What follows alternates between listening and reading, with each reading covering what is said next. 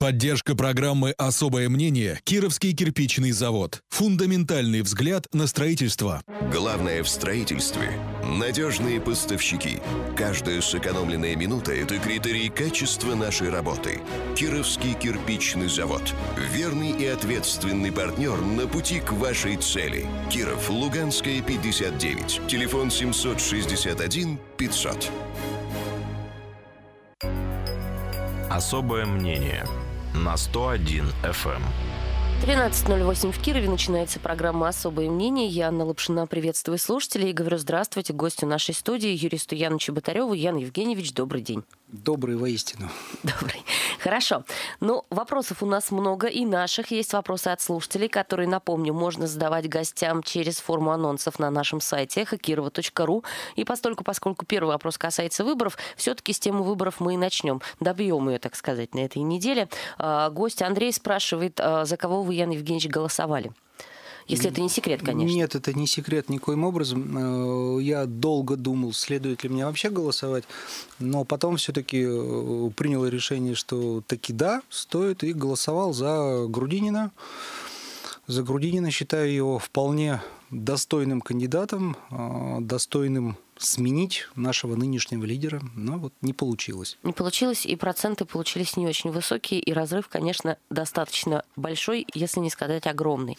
Я знаю, что вы голосовали у себя дома э, в Бахте, по-моему, да? Да, в 440-м участке. Да, и помимо того, что вы участвовали в выборах как избиратель, как гражданин, вы еще и наблюдали. Ну, или, это, или это был неофициальный статус наблюдателя? Это был неофициальный статус наблюдателя. Э, я не представлял интересы никаких э, кандидатов.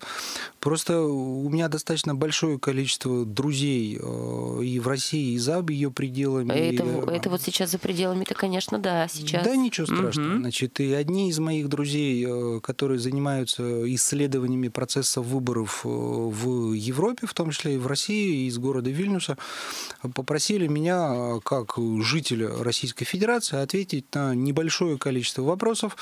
Для того, чтобы ответить нормально, я понаблюдал э, за ходом этих выборов, о том, э, сколько людей приходит, в какое время приходит как осуществляется сам процесс голосования, э, как развешена реклама. Ну, там достаточно большой перечень вопросов, около 60. Ну, то есть это какой-то исследовательский центр, который занимается Это международный изучением... центр электоральных исследований. Так. Находится он в Вильнюсе, работает по всей Европе. Ну, насколько я понимаю, э, выборы в Российской Федерации президентские э, являются предметом такого исследования. Людям интересно, почему нет? Вызывает внимание. Движение «Голос», между прочим, сообщило о том, что не может признать состоявшиеся в России выборы честными по той простой причине, ну, то есть нет претензий, как я понимаю, к самой процедуре голосования, но есть очень много претензий э, к процессу до, скажем так. То есть... Э, да, да, вот из того вопросника, который был мне направлен, э, значительная часть была как раз посвящена вопросу, который относится не к самой технологии получения бюллетеня и опускания его в ящик, либо в машину для подсчета голосов в КАИП, а непосредственно к всему процессу от объявления выборов э, к непосредственно избирательной кампании, к дебатам. Ну, я делаю для себя вывод о том, что да, действительно, и за рубежами Российской Федерации достаточно пристальное внимание уделяется э, равности возможностей всех участвующих кандидатов в ведении избирательной кампании. Мы прекрасно видим о том, что главный э, кандидат, который в итоге и победил, даже в дебатах участие э, посчитал ненужным принимать, в то время как остальные участники все-таки о чем-то дебатировали. Причем, ну, на мой взгляд, эти дебаты никоим никоим образом не добавили им никакой популярности, а наоборот повредили, потому что э, зачастую превращались просто в какое-то цирковое шоу. Поэтому, да, я думаю, что, наверное, можно сделать вывод о том, что кандидаты не обладали э, равными возможностями, тем более, что Владимир Владимирович Путин, при всем к нему уважении, э, находясь в статусе действующего президента, получал гораздо больше возможностей для освещения э, и своей предвыборной программы. Мог, мог светиться да, перед избирателями. И, да, и доносил до потенциальных избирателей информацию о своих намерениях. Естественно, он имел больше возможностей, поэтому здесь э, тяжело сказать, что все находились в равных условиях. А я правильно понимаю, что вот э, непризнание выборов России абсолютно честными по этим основаниям, а, оно не влечет за собой никаких последствий там для страны и прочего? То есть это такая, ну, больше моральная, что ли, категория? Ну, Нет? наверное, да. Наверное, да. А, Во всяком случае, ну вот смотрите, такое понятие, как э, легитимность избранного главы государства, в мире, конечно, может быть где-то поставлено под сомнение. Непосредственно для самой Российской Федерации, как государственного образования, мнение иностранцев, иностранных общественных организаций, иностранных правительств существенной роли играть точно не будет. Ну, в последние годы особенно. Ну да, но я думаю, что и в грядущее тоже вряд ли что-то изменится настолько оперативно. Все мировые правительства, что Соединенные Штаты, что Великобритания, да какое любое угодно другое, они все равно будут вынуждены считаться с теми а, органами, а, с Владимиром Владимировичем Путиным, который сейчас будет на ближайшие шесть лет нашим президентом, только лишь в силу того, что он будет занимать такую должность де-факто и де-юре в том числе. Невозможно не считаться с главой государства, которое занимает одну шестую часть суши, обладает ядерным потенциалом, достаточно агрессивными намерениями. А Украина, Крым это показали. Так, а если мы будем говорить о нарушениях каких-то зафиксированных или не зафиксированных именно в процессе выборов, вот, собственно говоря, э, ЦИК подвел итоги, ну и, собственно, наш облсбирком подвел итоги, да, было сказано о том, что состоявшиеся в Кировской области выборы были признаны честными, про- прозрачными, по-моему, нашли то ли одно, то ли вообще ни одного нарушения. Э, Вы у себя на участке наблюдали что-то, что вызывает подозрение или нет? Ну, я э, регулярно принимая участие в выборах, я обратил внимание, да, действительно, о том, что на территории всей Кировской области выборы президента были совмещены с массой других действий, которые требовали как минимум похода на избирательный участок. Это и голосование по городскому благоустройству, и где-то какие-то местные референдумы проводились и прочее, прочее. Э, Официальных подвозов избирателей, ну вот у себя в Бахте я не заметил. У нас достаточно маленький участочек. У нас всего 2500 э, с небольшим избирателей, причем, насколько я э, понял из официальных данных, которые опубликовал в ЦИК, на выборы вот по моему участку пришло где-то что-то около 60%. То есть я бы не сказал, что здесь какая-то запредельная явка, либо запредельная неявка. То есть так, серединка Ну, наполовину. это примерно уровень обычно, как голосуют у нас на Но выборах опять президента. же, все-таки, простите, мы хоть и относимся к городской черте э, и территориально находимся в городе Кирове, но мы все-таки село. У нас нет крупных промышленных предприятий, у нас э, нет э, больших каких-то государственных либо муниципальных учреждений, которых можно было бы обязать Нет, явиться неоткуда на... подвозить и да, подходить, да, да? да, да, да, обязать явиться на выборы. В то же время я знаю, что а, предприятия крупные, которые расположены в э, Бахте, э, рекомендовали своим сотрудникам явиться на эти выборы. Но это рекомендация. Рекомендовали явиться или рекомендовали голосовать за кого-то? Рекомендовали явиться. А, Обращаю внимание, что на самом деле вот лично у меня есть... Много было таких жалоб, кстати да, говоря. есть большие вопросы э, к даже к технологии подсчета голосов. Меня откровенно смущает э, то, что очень часто и зачастую использование вот этих автоматизированных систем КАИБов исключает фактически ручной пересчет. Я не знаю, насколько программа в этом аппарате сертифицирована, насколько правильно этот подсчет ведется. Я бы считал, что все-таки более надежно это руками эти 2000 бюллетеней перебрать, тем более, что это не так много. Под взорами наблюдателей. Да, да, да, да, да, да, да. А, Тут было много вопросов, на самом деле, у экспертов и у представителей политических партий. А, Вызывало их опасения, не знаю, там, может быть, опасения, может быть, настороженность, а, некая вот такой перекос а, между явкой избирателей в первой половине дня и дальше. А, Если мы говорим о тех сообщениях людей, которым рекомендовали прийти, а, я, например, видела, что всем им рекомендовали сходить до 12. И я помню, как и наш облсбраком отчитывался о явке, и по России была та же самая картина. Все писали какая-то просто вот, ну, ме- мега-активность людей в первой половине дня. То есть там в 10 часов какая-то прям, ух, явка, потом в 12 часов очень очень много народу и прям сравнивают с предыдущими выборами и говорят, что это ну, что-то необыкновенное, вот как активно идут голосовать избиратели. Угу.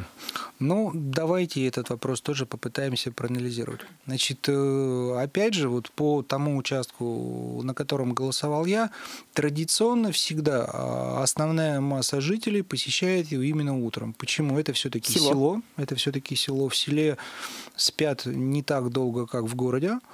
А, где-то печку нужно затопить, где-то воды принести, а, ну и на работу. А, невзирая на то, что это выходной день, это сельское хозяйство.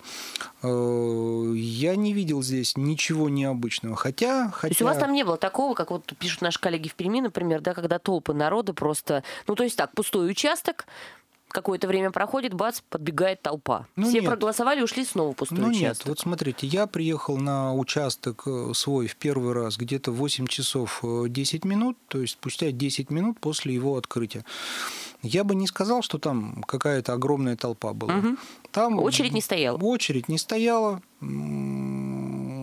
я достаточно быстро отдал свой голос, ну и какое-то время еще постоял, посмотрел, понаблюдал, посчитал. Э, я не видел, что кого-то кто-то подводил. Могу единственное предположить о том, что на самом деле это все-таки маленький достаточно участочек, угу. который не находится в городе Кирове, и как раз там и на дому очень мало голосовало, очень традиционно очень мало голосует.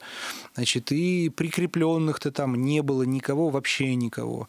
То есть э, из э, граждан, не зарегистрированных на территории э, данного избирательного участка, там никого не было в этот раз. Вот, Только так что, свои. Да, так что здесь каких-то таких глобальных нарушений я бы, наверное, не отметил. Хотя я знаю, мне многие мои знакомые жаловались, особенно те, которые э, работают в бюджетной сфере, в сфере образования, здравоохранения, о том, что им фактически в приказном порядке, да, действительно указывали на необходимость посещения избирательных участков и именно в первой половине дня. Ну, наверное, могу только предположить, что для оперативности отчетов.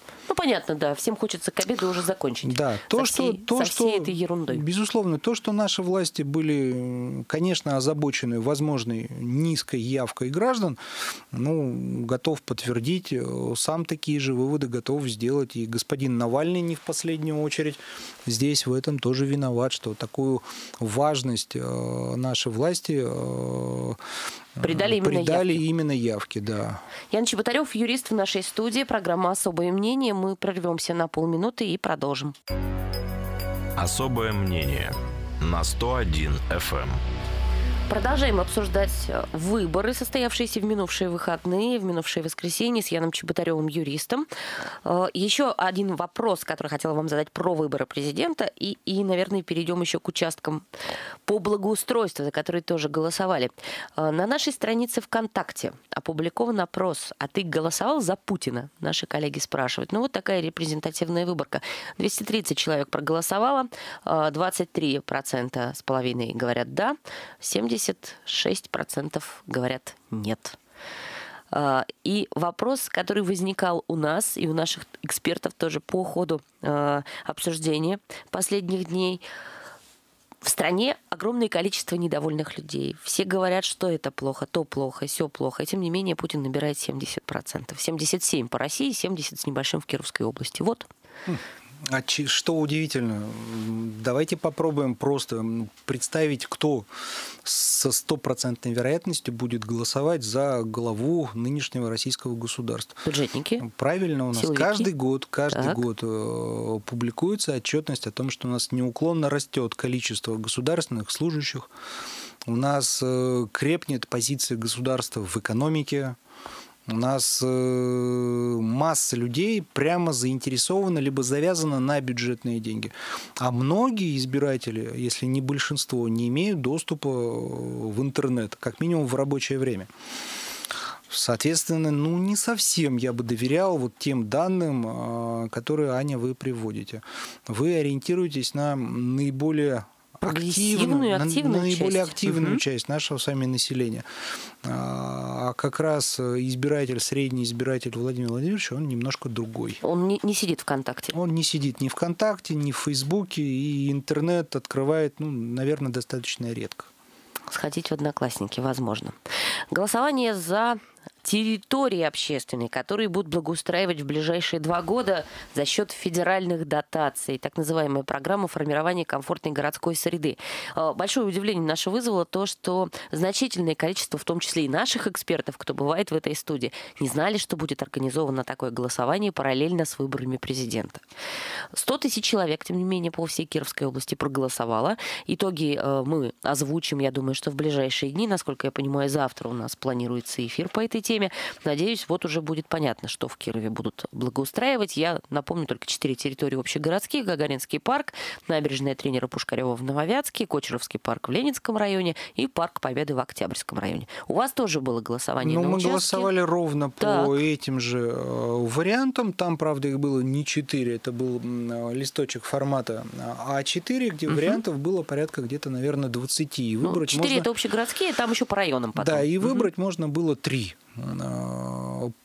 По выходу из избирательного участка, из основного помещения, в вестибюле был установлен стол, где сидели такие же точно девушки.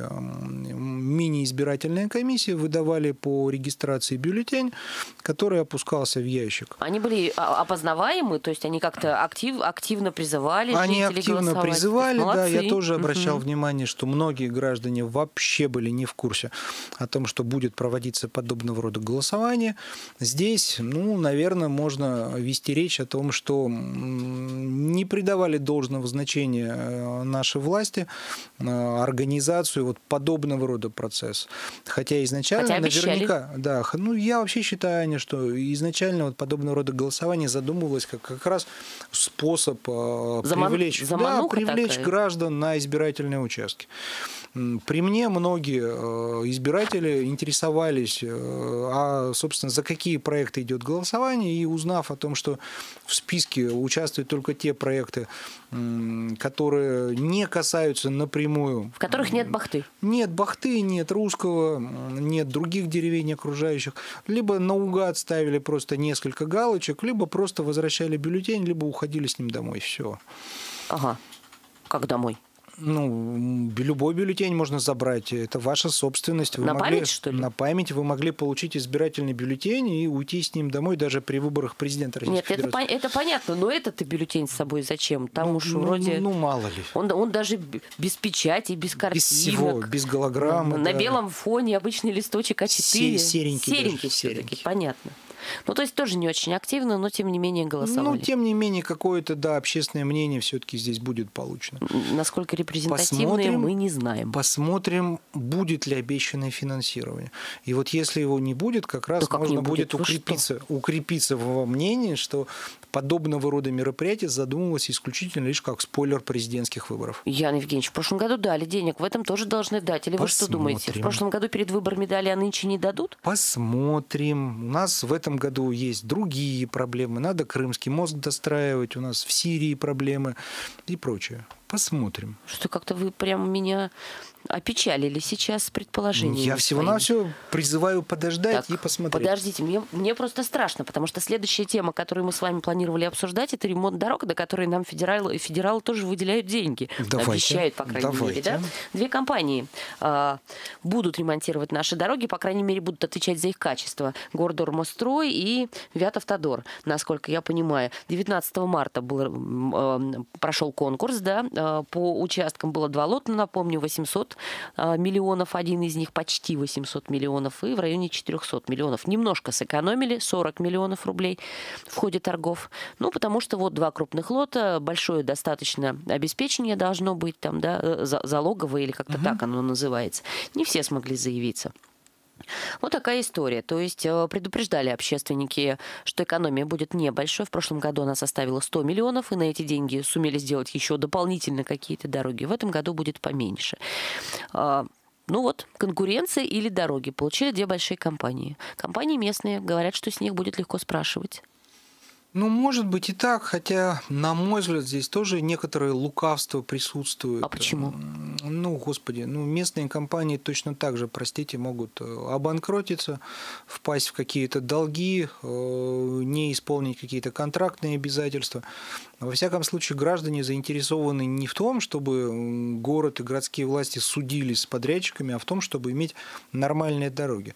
На мой взгляд, здесь... Э, ну, вот эти две компании вызывают ваше доверие? Вятовтодор, да, город да, да, пока да, пока да. А, во всяком разе, ну вот э, прошлогодние торги э, мне представлялись гораздо более странными, когда главные лоты, главный лот фактически, о котором э, большие очень дебаты шли, это автодорога Киров-Русская, выиграла мало кому известная московская компания. Агентство развития перспективных технологий. Территорий. территорий, как-то так Да, и да. по моим-то данным как раз в настоящий момент эта компания почела в обозе.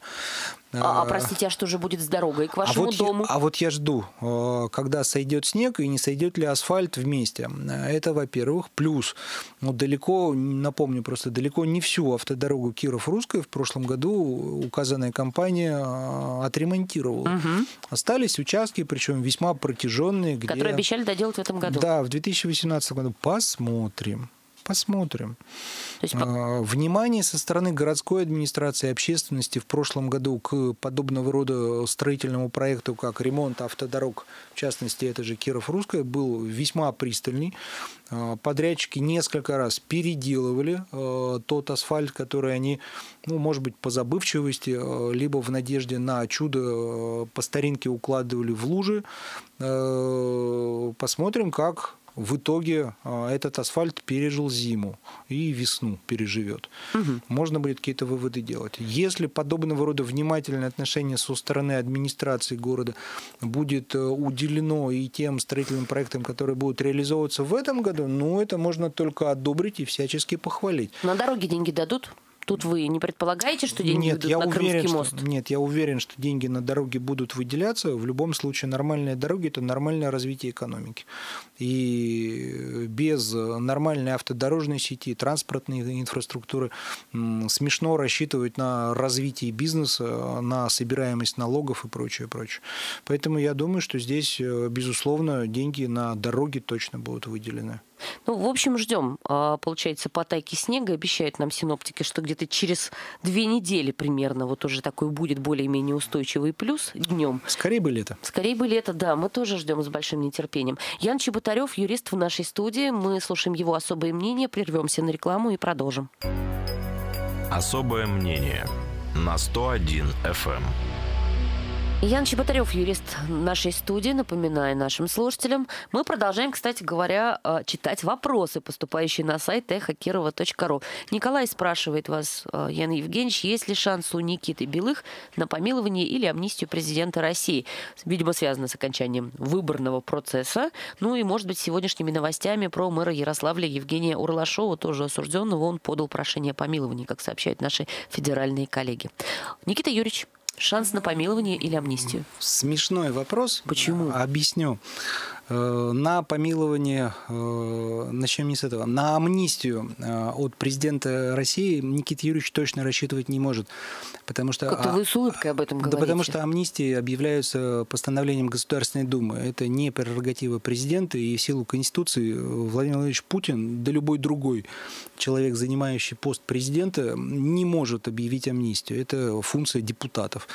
Вот. Если будет какая-то всеобщая амнистия, ну, естественно, депутаты могут проголосовать проголосовать, что она коснется вообще всех осужденных. А, а вообще которые... по статье, по которой осудили Никиту Юрьевича, э, предполагается возможность выхода по амнистии? Возможность выхода по амнистии определяется депутатами Государственной Думы. Ага. Если сегодня соберется Дума, завтра соберется Дума и решит амнистировать вообще всех, это будет законно, потому что это в компетенции Государственной Думы.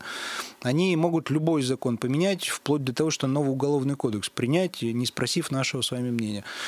Вот. Вот. Э, что касается помилования, да, безусловно, это очень интересное, одно из немногих полномочий президента Российской Федерации, где он абсолютно свободен, и он может принимать решения, опираясь лишь на свое собственное усмотрение, не спрашивая ничего совета и не руководствуясь никакими законами. То есть э, действующий президент Российской Федерации может помиловать абсолютно любого, вне зависимости того, по какой статье он осужден, какой срок наказания ему назначен, сколько фактически он отбыл, каково его состояние здоровья. Основания могут быть абсолютно любые. Абсолютно любые. У меня два вопроса в связи с этим. Я, может быть, э, чего-то не знаю, но я так понимаю, что Никита Юрьевич еще не начал отбывать наказание. То есть там еще идут вот эти процедуры Ну, обжалование, обжалование оспаривание, да. да. Приговор угу. в отношении Никиты Юрьевича пока в законную силу не вступил.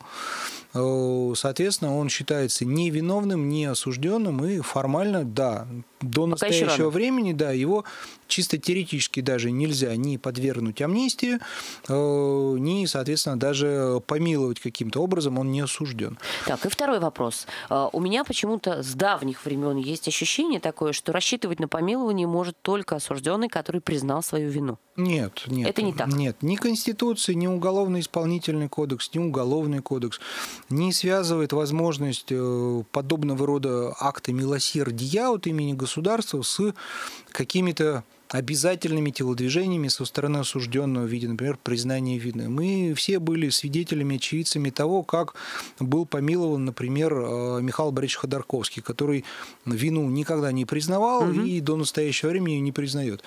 Э, тем не менее, он был помилован. Все, что нужно для помилования, это обращение к главе государства в виде заявления, в виде ходатайства о помиловании. После этого запускается механизм механизм э, рассмотрения данного заявления, итогом которого является вынесение соответствующего указа в случае его удовлетворения. Насколько что оно если... возможно? Ну, э, ежегодно, ежегодно э, действующий наш глава государства милует несколько человек.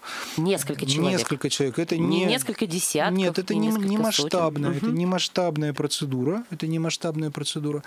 Если я не путаю, то в 2016 году помиловано было порядка, по-моему, 8 человек всего. Не густо. И причем помилование не подразумевает полное освобождение от э, уголовной ответственности, Ой, немедленное интересно. освобождение. В качестве помилования срок наказания может быть просто сокращен до отбытого, либо э, лицо может быть освобождено от э, какого-то дополнительного вида наказания. Ну, то есть от штрафа, там, например, да, от да, уплаты да, штрафа, да, да, еще да, что-то. Да. Понятно. Ну, в общем, да. В любом случае, помилование – это акт смягчения наказания. Угу. обращаться с прошением о помиловании Никита Юрьевич может когда? Ну, ну понятно, после того, как приговор вступит, вступит в законную, законную силу, силу, и сразу же можно? Сразу же может.